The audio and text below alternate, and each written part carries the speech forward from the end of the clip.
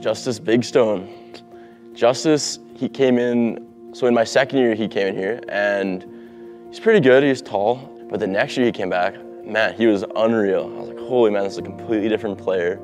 Justice is the hardest working player I've ever played with. That guy works harder in the gym than anyone. He like he's a beast in there, and it really shows with how much he's improved every single year. Like he's he's come from like someone no one really knows to probably one of the top blockers in the ACACs. So I drive him home lots of the times after practice, and I just have always enjoyed his company. He's a very nice guy. He's super quiet, but man, when he, on the court, he's a little feisty. So it motivates me seeing how hard he works in the gym and on the court.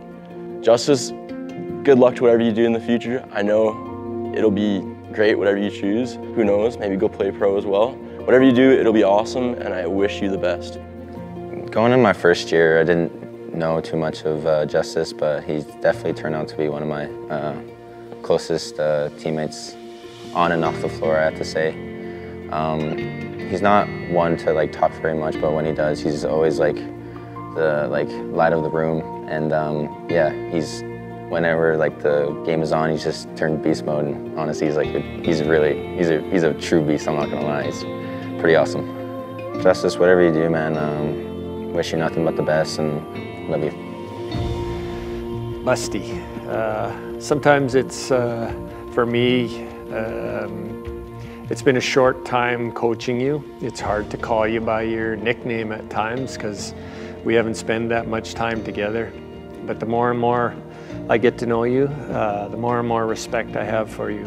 Uh, you, you could play for me any day. And uh, I really enjoy coaching you uh, working with you. Um, you're a guy that I know I can trust that's going to show up ready to go.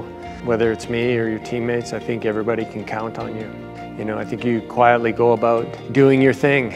Sometimes you don't need to say a lot of things to get the message across, and that's another great characteristic. I think you're a great leader.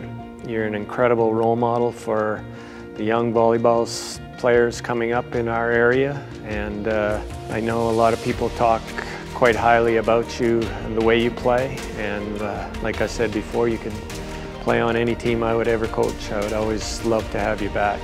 And I wish you the best in uh, whatever you choose to do. I just think keep keep doing what you do. Uh, you're a good person and uh, you can help make a lot of other better people out there for us. If I had to describe justice in one word, I already said it once, but hardworking. Quiet leadership.